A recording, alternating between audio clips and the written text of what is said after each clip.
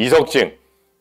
우리가 이석증이라 부르는 이유는 원래 여기 있어야 되는 그 석회가 이쪽으로 튀어나와 가지고 여기 떠다녀 가지고 우리가 어지럽다. 어지럼증을 일으킨다.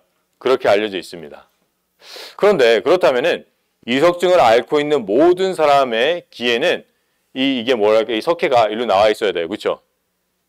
나와 있어야 되고 또 이석증이 없는 사람들은 그러면 석회가 없어야 돼요. 그렇죠? 이석증이 있는 사람들은 석회가 여기 있는 게 아니라 전부 다 여기 나와 있어야 돼요. 그렇죠? 그래가지고 저희가 이석증 있는 사람들의 어, 그 부검을 다 해봤습니다. 근데 아니었어요. 아니었어요. 석회가 원래 있어야 되는 곳에 있었는데도 이석증에 걸린 사람들이 상당히 많았어요. 그리고 이석증이 없는 사람들은 이석증이 안 걸린 사람도 여기에 그럼 석회가 있어야 되잖아요. 원래 석회가 다시 말씀드릴게요. 석회가 원래는 모든 사람들이 여기 있어야 되는데 이 석회가 있어야 되는 이유는 이 석회로 인해서 우리가 밸런스를 잡기 때문이다. 그런데 여기 있어야 될 게 튀어나와가지고 여기 있으면은 어지러워가지고 밸런스를 못 잡기 때문에 그 밸런스가 흐트러지기 때문에 막 구토가 일어나고 발 빙빙 돈다. 그렇죠? 그렇게 얘기를 하면은 모든 이석증이 걸린 사람들의 석회는 여기 있어야 되고 그렇죠? 이석증에 안 걸린 사람들도 석회가 제자리에 있어야 돼요. 그렇죠? 근데 저희가 부검을 해봤을 때 결과는 그게 아니었어요. 이석증에 안 걸린 사람들은 석회가 아예 없었어요. 귀에. 이석증에 걸린 사람들도 100%다 석회가 있었던 건 아니에요. 어떤 사람, 아, 100%다 여기 석회가 있었던 건 아니에요. 여기 제자리에 있었는데도 이석증에 걸렸어요. 그러면은 우리가 현대학에서 하고 있는 가설이 뭔가가 좀 잘못됐다는 소리예요. 그렇죠? 그리고 그걸 다시 돌아가서 보면은 뭐예요? 제 설명이 약간 좀 헷갈리죠? 음, 오케이. 다시 한번 설명해 드릴게요. 이게 원래는 어, 현대에서 얘기하기는 원래 석회가 여기 있어야 되는데 이게 잘못 여기로 삐져나올 때 이석증이 있다는 거예요. 그렇죠? 그러면은 이석증이 안 걸린 사람도 여기에 석회는 있어야 돼요. 그렇죠? 그런데 열어보니까 이석증이 안 걸린 사람은 여기 석회가 없어요. 그리고 이석증에 걸린 사람들은 다 석회가 여기 있어야 돼요. 그렇죠? 근데 그것도 아니었어요. 여기 있는 사람들도 이석증에 걸렸어요.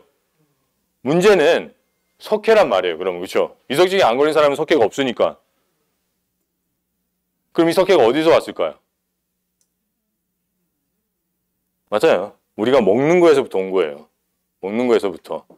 그래서 이게 석회가 어떠한 여기 있어야 되는데 일로 튀어나온 문제가 아니라 근본적인 원인은 석회가 아예 없어야 되는데 석회가 생겼다는 거 그게 문제인 겁니다. 그러면 이석증을 낫게 하려면 어떻게 해야 될까요? 여기는 석회를 없애주면 나아요. 그렇죠? 아, 이게 우리는 이러한 이게 어디서 왔냐면은 어, 어떠한 띠어에서 왔냐면은 왜 자이로스코프 아세요? 자이로스코프?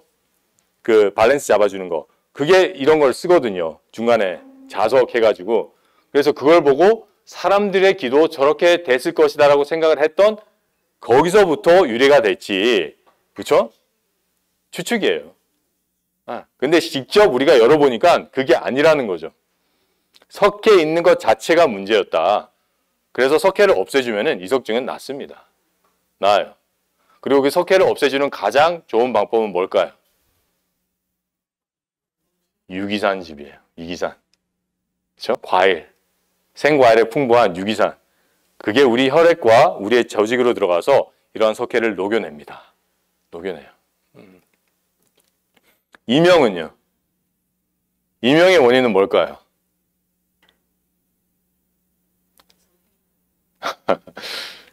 이명은 이제 여기에 대한 의견이 상당히 많았어요. 그래서 이제 한 연구를 한번 해봤어요. 그래가지고 왜 우리 그 간질 있는 아이들 보면은 다 이거 뇌파 검사를 할 때 엄청나게 많이 꼽습니다. 이명 환자들한테도 똑같이 해봤어요. 그랬더니 이 뇌파가 간질 있는 환자들과 상당히 비슷한 거예요. 어 그래가지고 어 이게 이명이 있는 게 신경의 문제인가 보다 거기까지 추측을 했어요.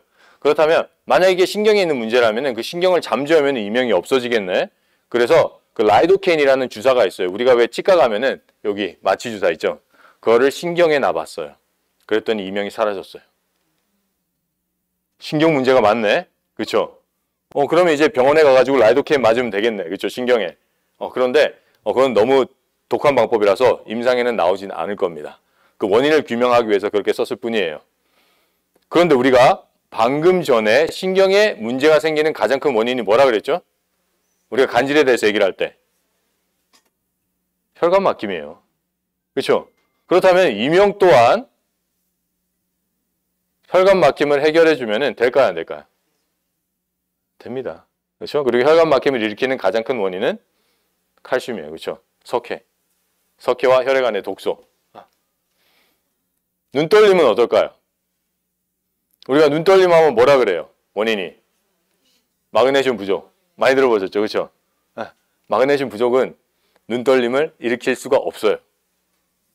아, 마그네슘 부족이 약간의 근육의 떨림을 일으킬 수는 있습니다. 하지만 그거는 마그네슘이 엄청 부족할 때예요.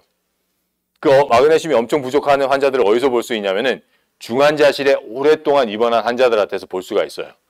그 외에 입으로 먹고 마시는 환자들에게서는 일어날 수가 없습니다.